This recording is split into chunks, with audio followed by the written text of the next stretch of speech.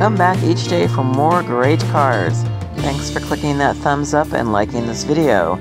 Please subscribe and don't forget to click that notification bell. Also follow us on Twitter and Facebook.